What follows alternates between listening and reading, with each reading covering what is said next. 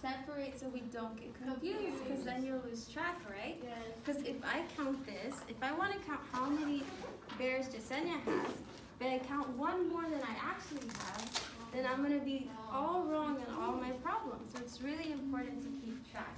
You guys did a great job, thank you!